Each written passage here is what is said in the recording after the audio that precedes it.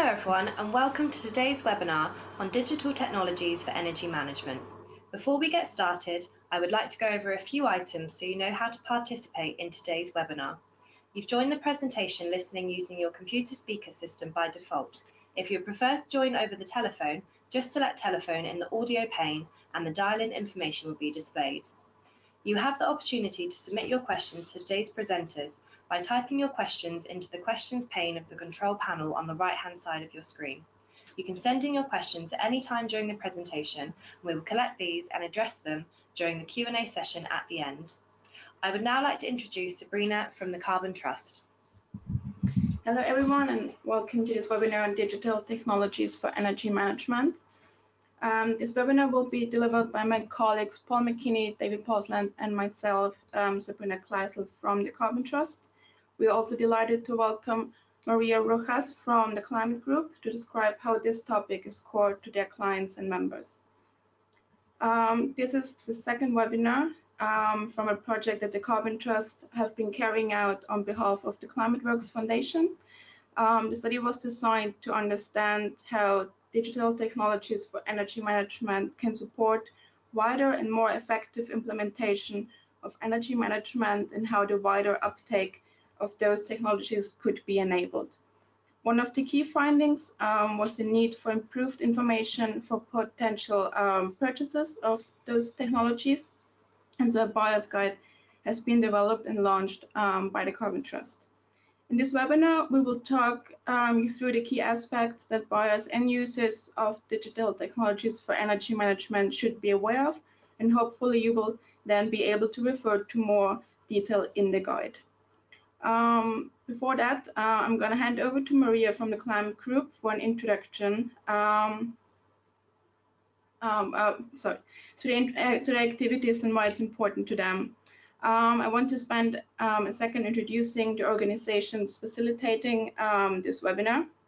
So for those of you who do not know the Carbon Trust, we are UK headquartered but increasingly global organization we work with businesses, governments, and all sorts of organizations on various um, challenges in the transition to the sustainable to, to the sustainable low carbon economy. We provide advice to those organizations ranging from big national and international policy questions right down to what lighting needs to be installed and specific applications. We design and manage programs ranging from some large ones like our 100 million pound offshore wind accelerator a joint R&D program through to low carbon city progr programs and energy efficiency technologies. We also certify and assure results on good environmental performance that include certification and, and, assurance around green bonds, but also around organizations and their performance on carbon, water, and waste. Um, the Climate Works Foundation is the funder of this project and is was established in 2008 um, it's a US-based philanthropy, um, and they collaborate with a wide range of funders, NGOs, um, and climate leaders um, from around the world to accelerate climate action. Don't want to spend too much on the climate group, as you're going to hear from them um, in a second. Um, just quickly being introduced, the climate group brings together powerful networks of business and governments with the goal to shift global markets and policies towards the goal um, of reaching a world of no more than 1.5 degrees Celsius of global warming. I'm handing over now to Maria. Um, Hello. Maria Thank you, Sabrina. Okay, so hello everyone. Thank you so much for having me. Um, thank you to the Carbon Trust. So my name is Maria Rojas, and I am the manager for the EP100 campaign, um, the Climate Group's Global Energy Productivity Initiative. The initiative was launched in 2016 in partnership with the Alliance to Save Energy, which is our technical partner based out of DC. And the goal of the initiative is to bring together a group of growing um, energy smart companies committed to using energy more productively, lowering greenhouse gases, and accelerating a clean economy. So today I'm really going to talk about, um, introduce the campaign and talk a little bit about how our members are using digital technologies to improve their energy productivity. So I will start by first telling you what energy productivity is. Um, energy productivity is technically defined as the ratio of economic output to energy consumption. So it is looking to decouple economic growth from energy use. Um, as a concept, it's a powerful tool for companies to understand their energy use through a financial lens. Um, it allows a company to have a specific metric, and by choosing this metric um, and using technologies to track energy use, they can see improvement over time. Um, it's also a concept that helps elevate the use of smarter use of energy from boiler room to the boardroom. So for a lot of our members, this helps uh, for energy managers to make the case for different investments um, and get buy-in from the board and the executive team. Um, it also brings wider economic benefits um, in addition to energy efficiency benefits, such as saving energy and saving um, money, companies are also seeing co-benefits from energy productivity. So they're doing more with less um, and really being able to build the business case for, for energy productivity. So we see this reflected in our membership. Um, our members, their key drivers are financial savings, greenhouse gas reductions, and reputational benefits. Um, and the, the initiative is a global initiative um, and companies are making a voluntary commitment to energy productivity. They are, we're working in partnership um, with the Alliance to Save Energy, as we mentioned, as well, as well as the World Green Building Council. And we're also part of the We Mean Business Coalition, which is um, a coalition of partners like WWF, CDP, and as part of that coalition, we are also working to influence policy, building an ambition loop where efforts across sectors reinforce each other. So to give you a snapshot of our membership, we have 40 companies with headquarters in 14 countries and operations um, in a lot more countries than that globally. They're in nine different sectors and they represent um, 345 billion in combined revenue. These companies um, are really spread across um, different sectors. And the idea is that companies, regardless of whether you're in heavy manufacturing um, or if you are in real estate, you can commit to using energy more productively um, and monitoring your, your energy use. So actually, I'll go back to this, um, just to mention that as part of the initiative, um, we provide a platform for companies to share and showcase that their leadership and progress. Um, so we have a peer learning program. Um, we have speaking opportunities for our members. Um, we participate in investor roundtables and um, hold member meetings as well as expert-led webinars. So to join the EP100 initiative, uh, we have three pathways, and across these pathways, uh, mon monitoring energy use is, of course, key to all of them. So um, the first one, cutting out energy waste, a company would commit to implementing an energy management system um, coupled with a DTM um, within 10 years. And then they would also be committing to an energy productivity target to help continuous improvement. Um, in the doubling energy productivity pathway, they're choosing an um, energy productivity metric and then can track progress from a baseline as early as 2005, but are committing to doubling energy productivity within 25 years. And this, when we first launched the campaign, was really seen as a very difficult goal for, for a lot of companies to reach. But um, as the campaign has grown and we've been able to demonstrate the what the what members can really do. We're seeing uh, members that are passing this goal. We just last um, yesterday we had a company join uh, Rome International Airport, and they've actually committed to 150% improvement.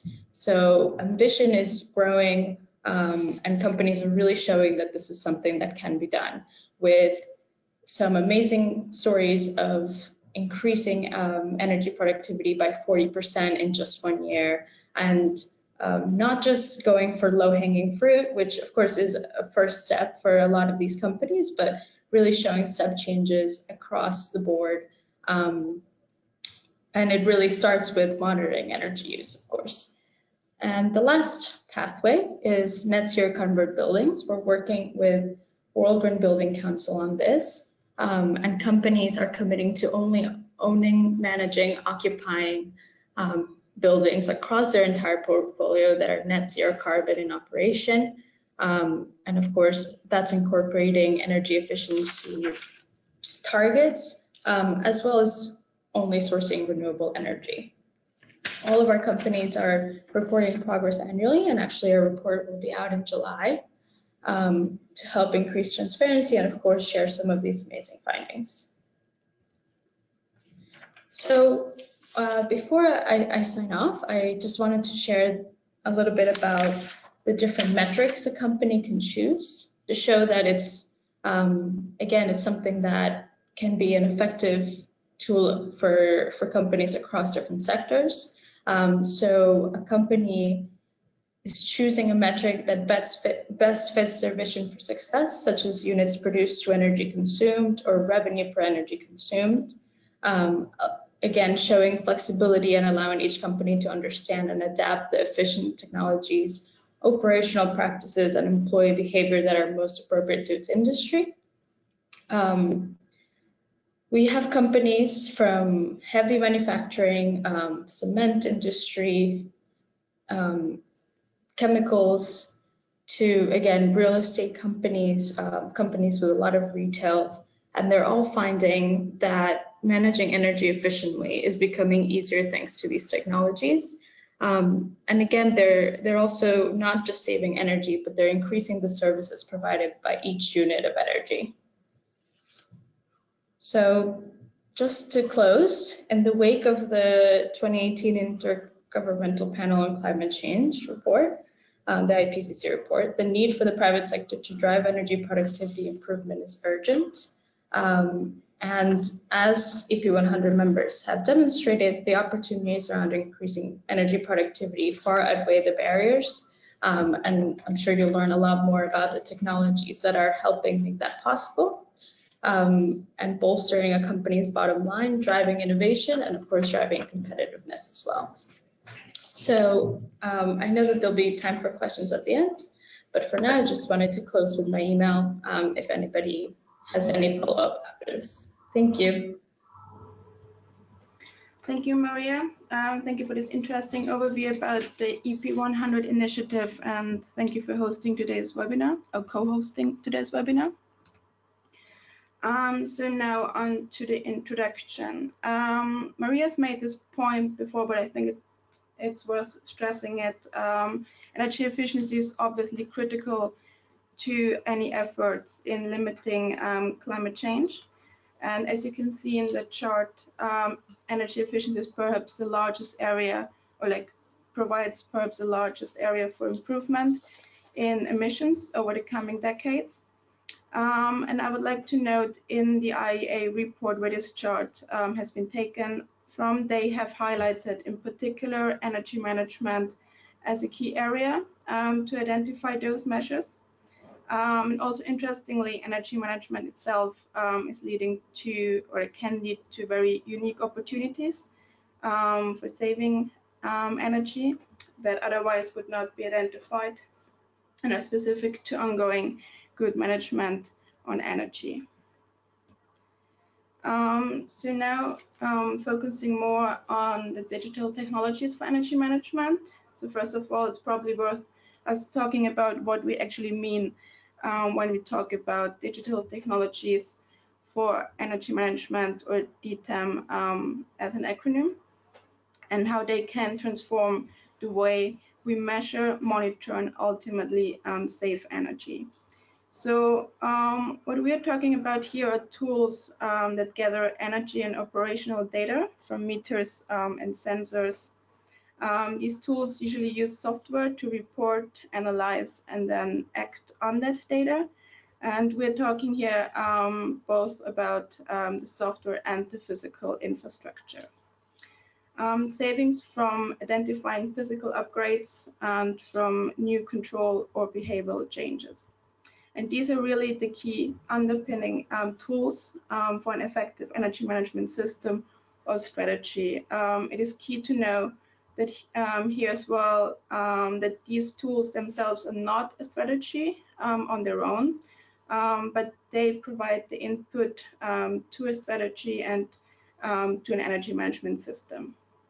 And while wider strategy needs to include aspects also of communication within the organization um, about target setting and mobilizing various um, human and other resources um, of an organization in order to realize the best outcomes um, from energy management. For this study, we have adopted five categories of digital technologies for energy management um, and those apply differently um, to different kinds of buildings or industries. The starting point um, is around energy metering, monitoring, and targeting, um, often something that is um, that lays the, the base, is the basis for an energy management strategy. and this probably requires not much further explanation, but it's a key part of understanding the starting point, what your energy consumption actually is.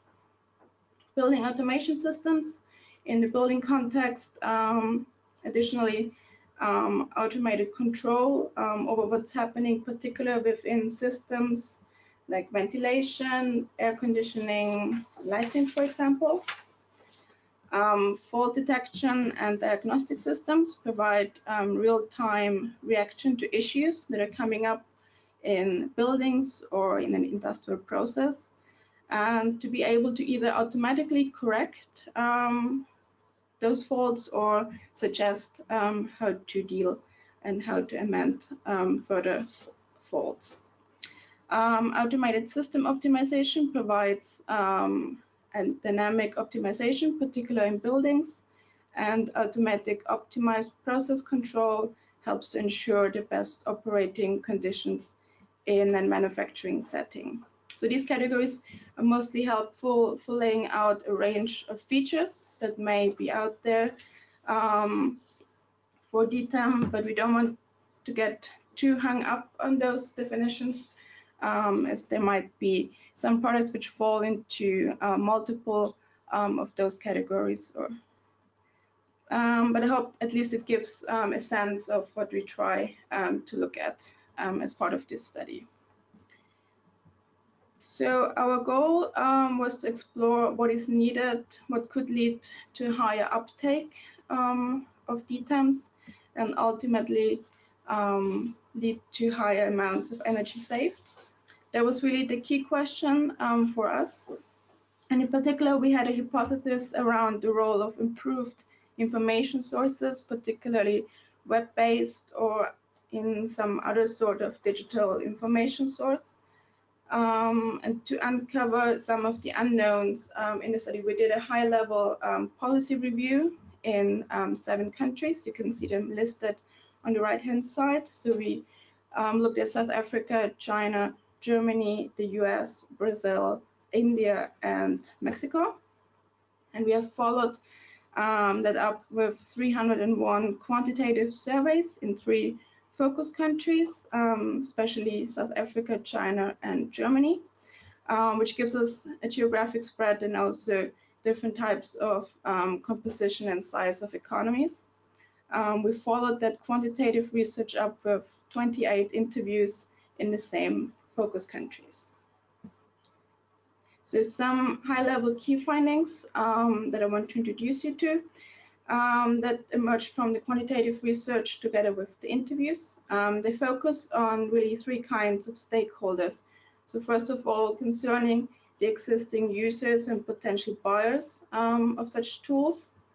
And we see that better information would really help convert those potential users to users. Um, secondly, um, the suppliers of such technologies, um, they play a key role for customers in trying to figure out what they need to implement and how they can best use it. And they have a key role when it comes to demystifying um, those technologies. And then finally, on the policymaker side, it's very clear that information is not going to be enough to encourage um, the level of uptake that we want to see. Um, there are some policy interventions um, which can be complementary um, to this and facilitate um, uptake. Um, so as we have mentioned before, we have seen information is key to the uptake of digital technologies for energy management. So to support this further, we have created a buyer's guide, which you can find following the link on the bottom of this page. And my colleagues Paul and Dave are going to um, talk about it um, even more in a minute. Um, sorry. Um, at the moment, we can see that there are many examples um, of DTEMs being installed, but they do not always achieve um, the benefits that people would expect or would hope for. So that's why um, the before mentioned buyer's guide um, will also include a section for users and how they can make the most of their um, DTEM. An important finding from our research and experience um, of carrying out energy audits within organizations internationally um, over many years is that those systems are rarely used to their maximum effect. And we have here listed some examples of um, why that might be the case. So very popular one is the fit and forget. So sophisticated energy monitoring and building automation systems can be installed and left collecting data that are rarely used or controls set up um, that are not monitored or optimized um, as working patterns of buildings um, or the use of buildings seem to change. Facilities management. So the DTEM control may be given to teams that are responsible for the comfort and energy purchasing, but they might not necessarily take energy consumption into consideration. Staff move on. So we frequently find that a committed member of staff has, has ownership um, for the energy management strategy and the tools, but then once they move on to another role or company, the ownership and engagement um, can be lost.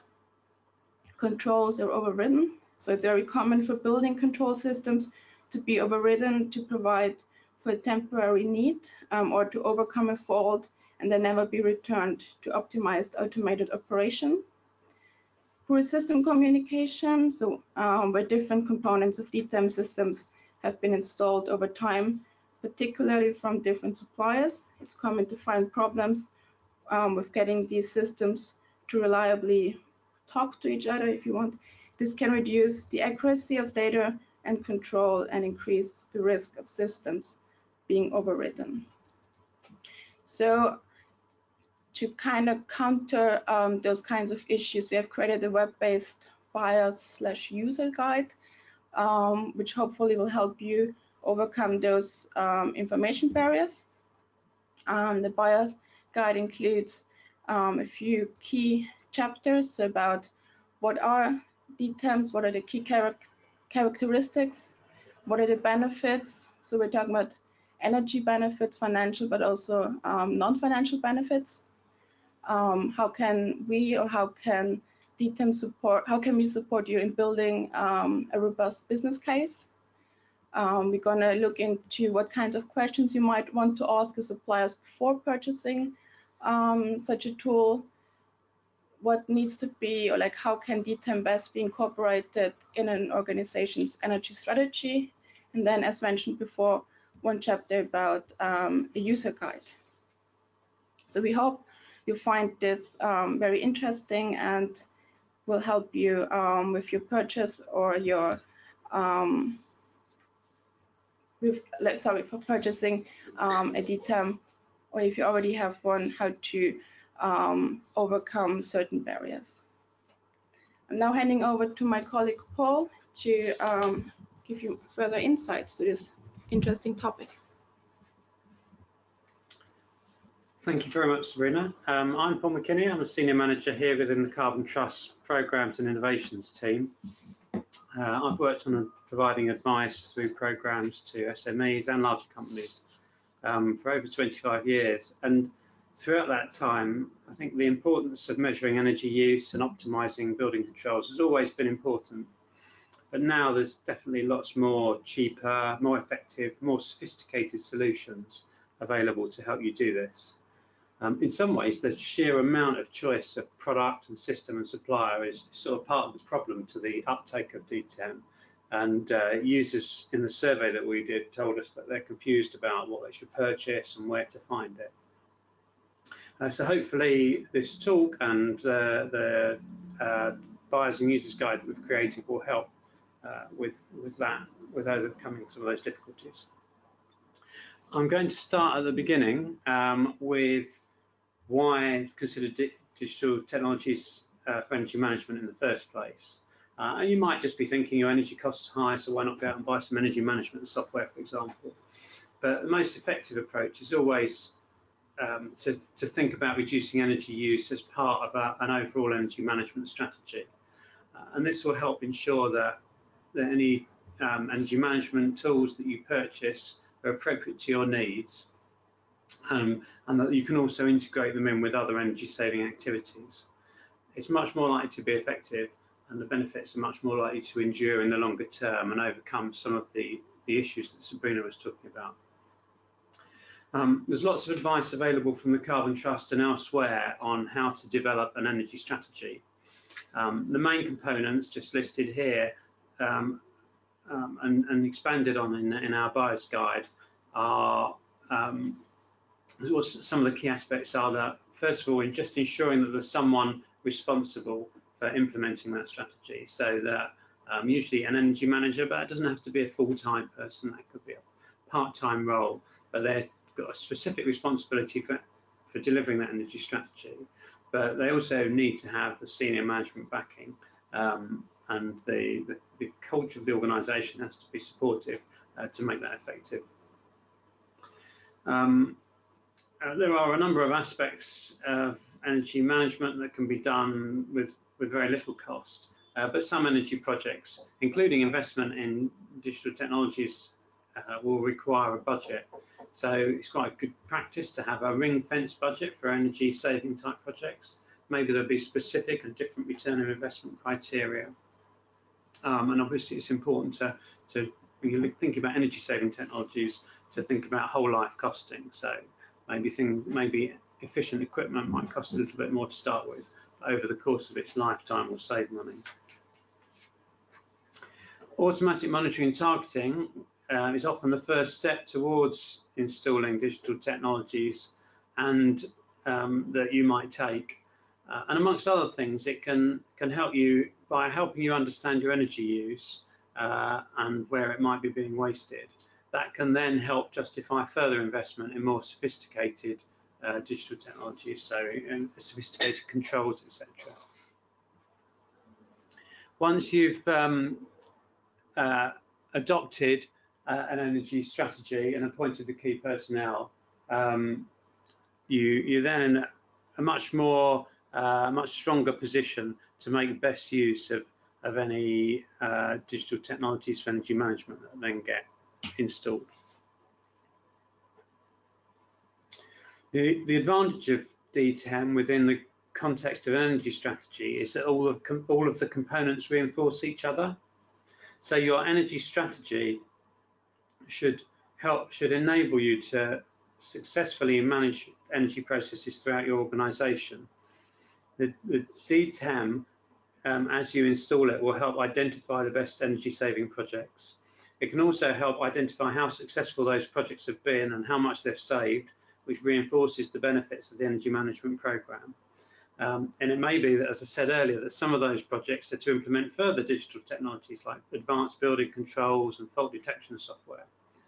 Um, and then the data from the, the DTEM systems will also feed directly back into the energy strategy itself and inform what the key priorities are. Um, uh, and of course, ultimately, all of this will lead to a more efficient use of energy, um, which should reduce cost and potentially improve your reputation as a supplier or service provider. So getting a bit more specific, what can digital technologies for energy management offer you? Well, firstly, they can allow you to monitor your energy consumption almost by definition um, and should help you detect avoidable energy waste.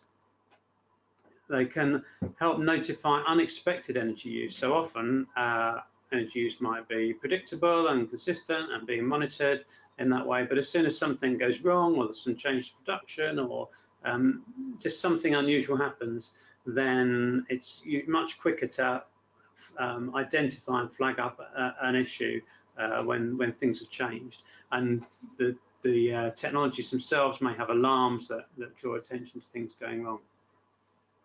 This can then allow quick and effective remedial action.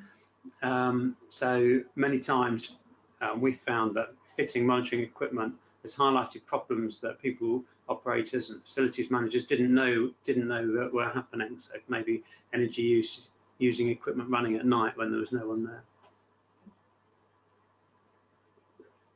As well as uh, monitoring, digital technologies can be used to provide control. They can give real-time adjustment of controls, um, although obviously you do have to be careful about um, who you give the control to and how much control you give, because it can be just as easy to turn the temperatures up with uh, um, um, control systems as to turn them permanently down. One of the beauties of digital technologies is that they can help quantify the resulting savings of energy saving projects that you implement, um, including um, installing the, uh, the, DTEM itself in the first place. Um, as well as alarms for specific problems, DTEM can also be used to identify trends to study for further areas of potential improvement. So they, they often would identify some very short-term savings which can help pay for themselves and then identify longer term improvement potential. And if you are running as part of your wider energy management strategy, staff awareness activities, then the digital technologies can help provide useful data to both illustrate the potential for more savings and also to collect the impact of any measures undertaken, maybe by staff have suggest, where staff have suggested them. By improving control of energy use, uh, it can also be more possible to be more accurate when setting energy budgets within a company, so the overall financial control can be better. And finally on this list is the ability to undertake meaningful benchmarking. So this might be a process, uh, uh, might be just for one process, for um, it might look at benchmarks from one day to another or across multiple buildings within a company or measuring your consumption against published benchmarks of other types of companies. So all of these potential uses and benefits should be considered when you're um, building that business case uh, to either purchase or upgrade uh, digital technologies for energy management. And um, just remember, it's not just as simple as, um, well, I'm going to put in some software and it's going to make savings of 10% and, and cost me this much. It's a sort of wider, uh, a wider set of benefits.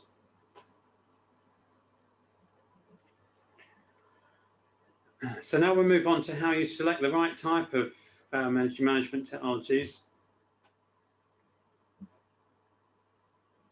I'm going to come on to some of the features to look for, but first, firstly, just to highlight for those that are new to the area, we've included in, in our buyer's guide a, a very simple selection tool, which just takes you through some of the key questions and makes suggestions for a sort of high level suggestion really for the type of system that you might want to consider or what aspects might be beneficial to upgrade.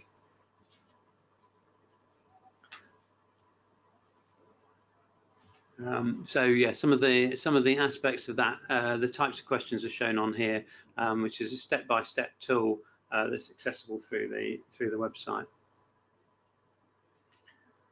Um, one thing to remember is that selecting the optimum uh, digital technologies for your particular requirement will influence the cost of the system and the effectiveness. And, and over specifying what you need is, is sort of just as ineffective as under specifying. Uh, you might be adding functionality that's, that's got extra costs with no particular extra benefit. Um, so it's useful to think about what types of requirements are going to be worthwhile for your site. Um, so in this next section, I'm just going to talk through some of the features to look out for in some of the different types of systems. Um, depending on your utility meter type and contract and energy, you may be able to obtain energy consumption data from your supplier. Um, and that there may be some analysis that you can do on software tools provided by them. Um, but obviously that's only site level data and, and what's available and when can be limited. Um, so most automatic monitoring and targeting systems, um, which is the first type I'm going to look at, will incorporate some sub-metering and allow you to identify usage of individual pieces of equipment. Uh, so that might include sub-metering of boilers or lighting or um, heating, ventilation, and air conditioning equipment, might maybe across individual floors within a building. In industry, that might include sub-metering industrial hot water and steam boilers, um, compressed air systems, uh, industrial chillers, um, or sort of by process, or it could be individual process lines. And um, digital technologies and AM&T systems specifically also enable building uh, monitoring and control across multiple sites, um, potentially controlled from a single uh, web-based access point. Um, all the systems are likely to include a level of logging and analysis and some form of dashboard output. Um, but you may also want to look for the ability to be able to tailor the reports, uh, maybe for different types of users.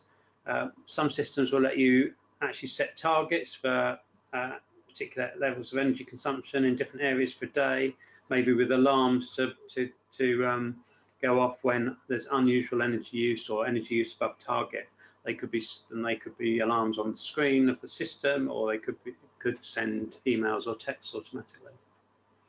Um, it's also very helpful to be able to export the results from AM&T systems uh, to do more in-depth analysis.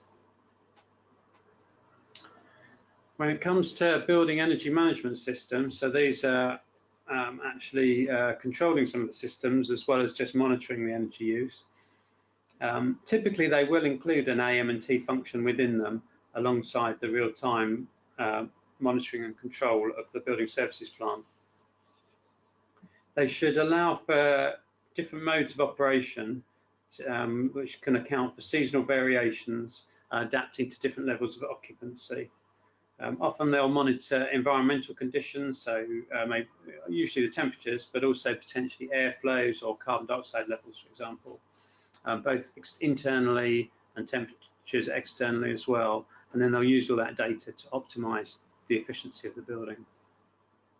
They'll often also measure and use wider parameters, so valve positions and flow rates and, and other control functions to help control the system.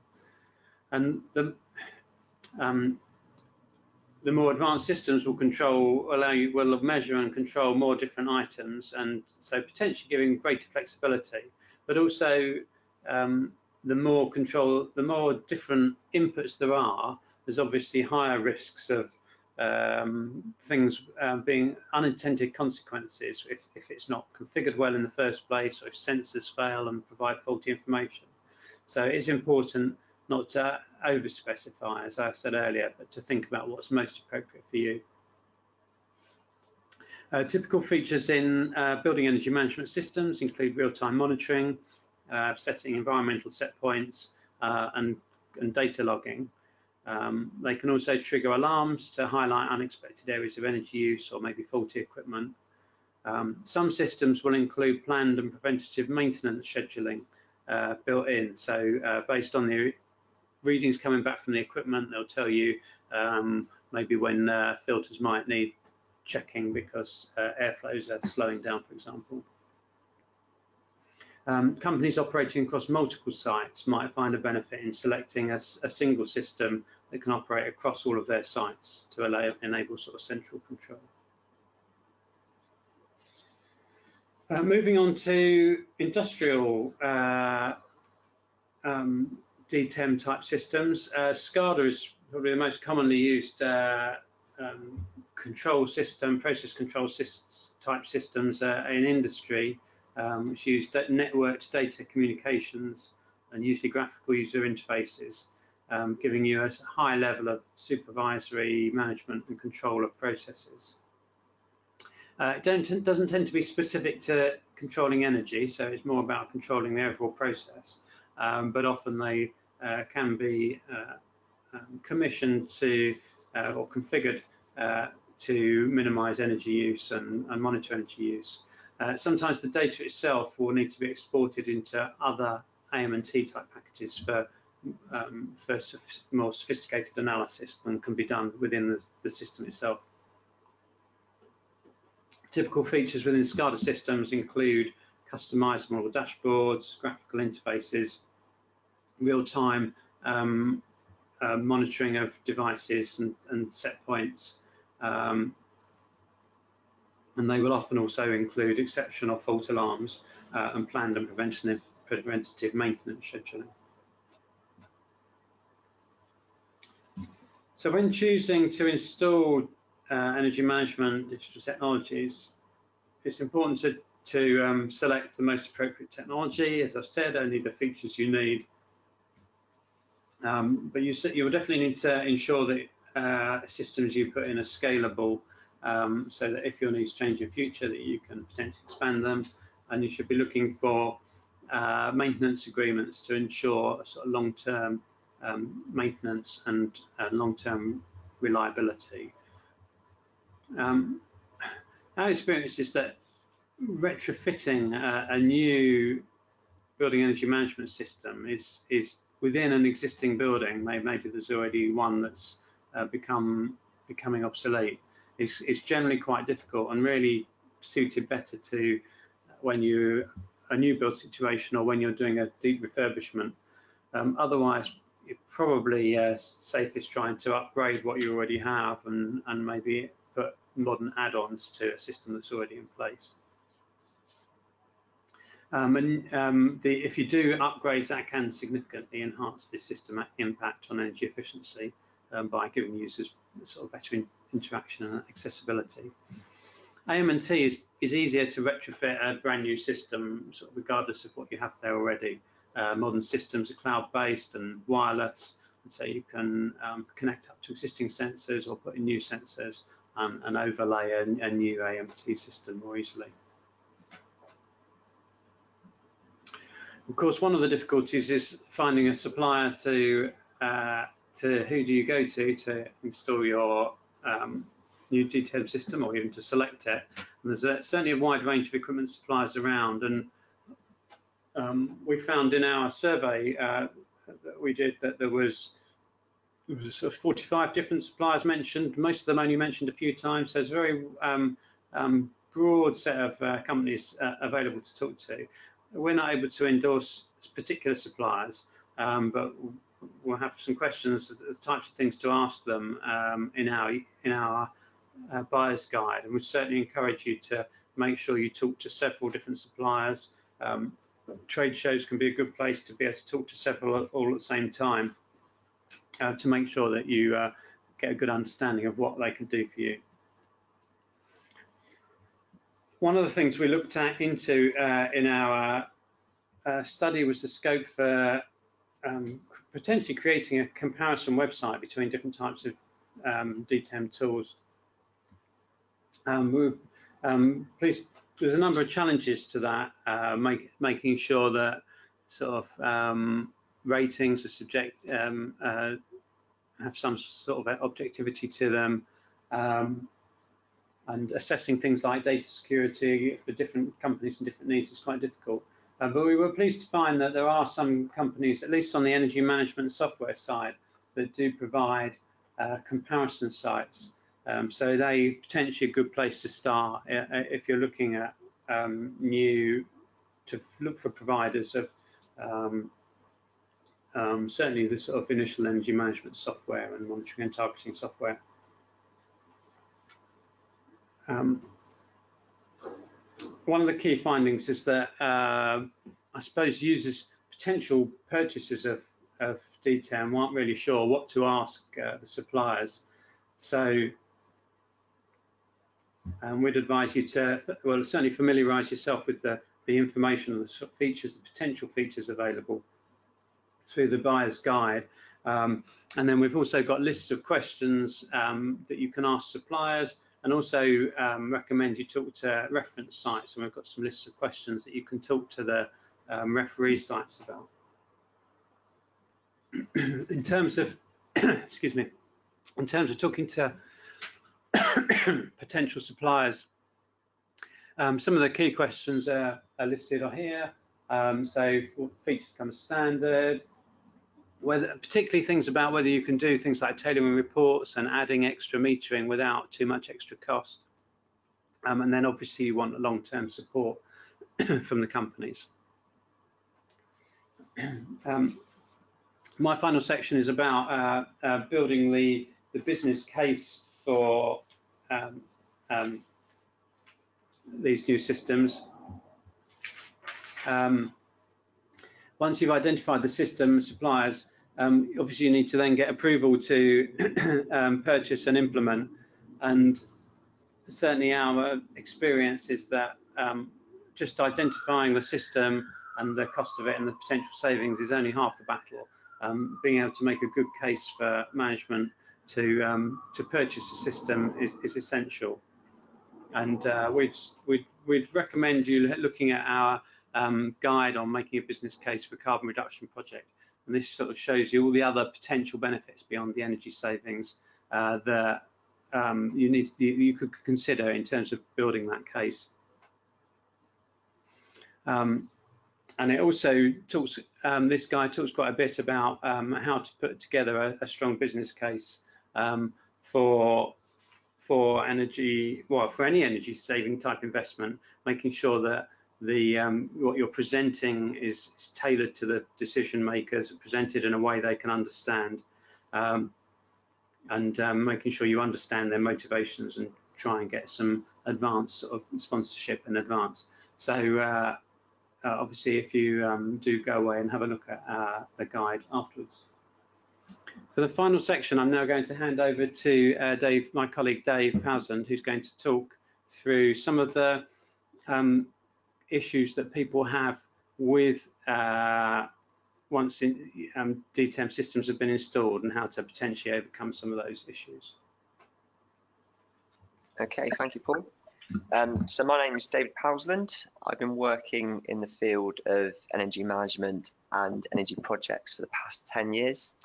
Um, in particular, I have a background in the application and utilization of AMT systems for energy management.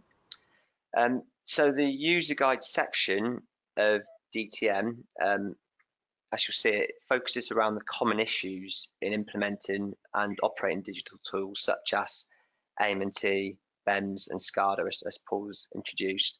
But also as part of the user guide, it does introduce um, management reporting, how to implement management reporting off the back of your digital tools.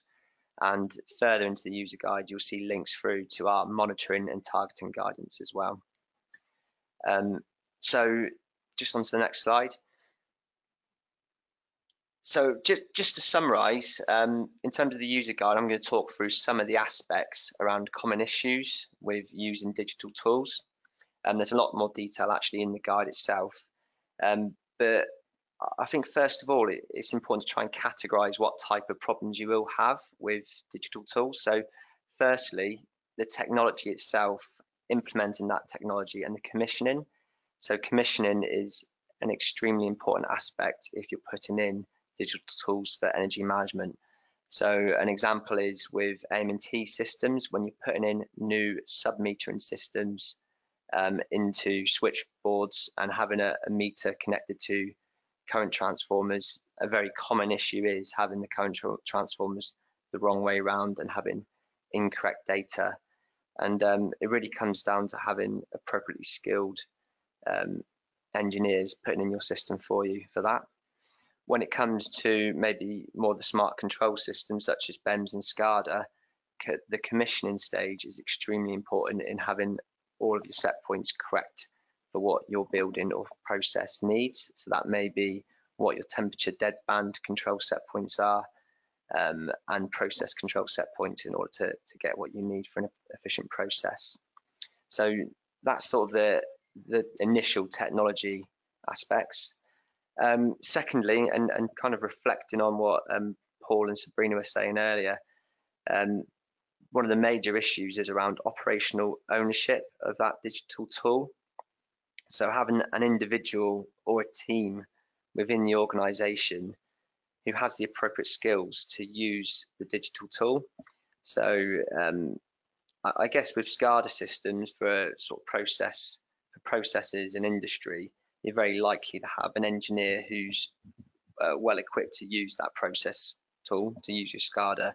But in particular, but when you consider AM&T systems or building energy management systems, often you may have one or two individuals or, or maybe no individuals who are specialists in that.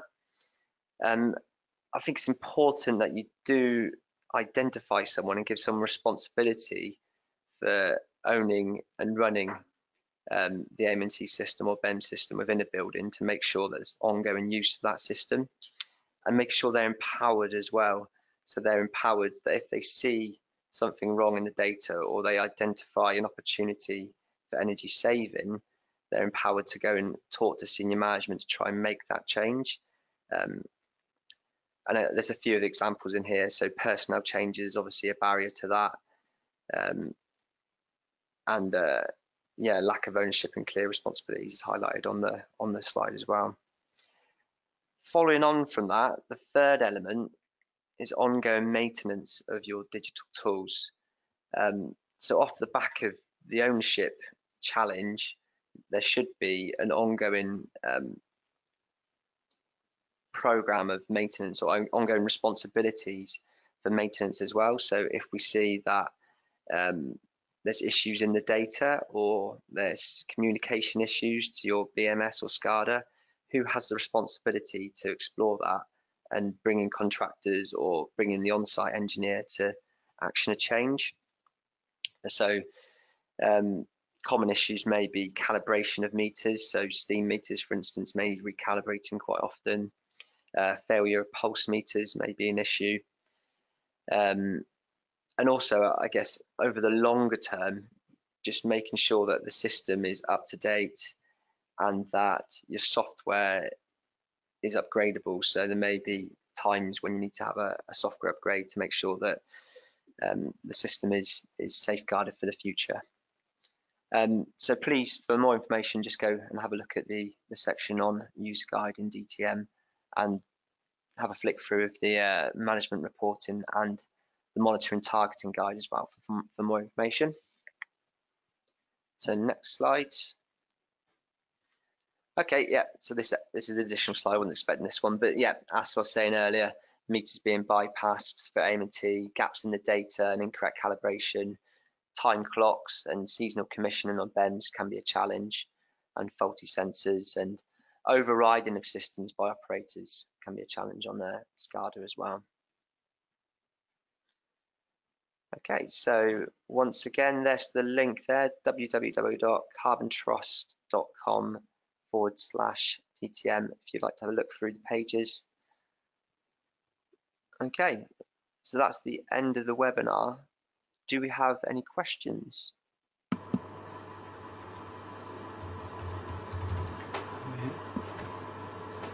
So, um, yes, if anyone would like to um, type in questions into the into the, uh, the, box on the right on the right hand side of the screen, um, there is a there is a question that's asking about data granularity that I'm going to pass back to you, Dave. So it's to do with what level of data granularity is typical or recommended, I think, um, obviously, um, half hourly data um, is common for energy, sort of general energy management, but I think um, if you're looking at particular equipment, then you um, can be looking modern equipment, modern uh, monitoring software can can look at much uh, sort of faster, uh, a lower, higher granularity. So, have you got? Is there anything you can add? Yeah.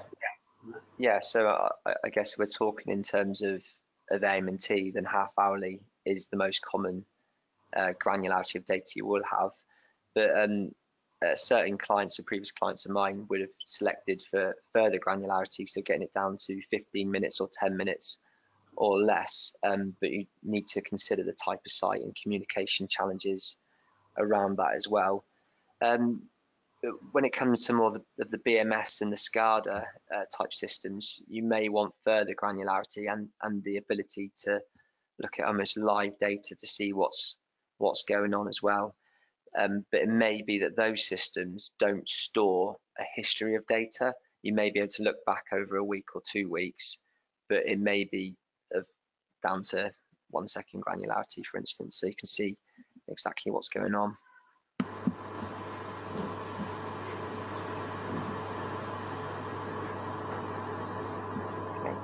Does anyone have any other um, questions? We'll, we'll wait for a, a couple of minutes to see if any further questions come in.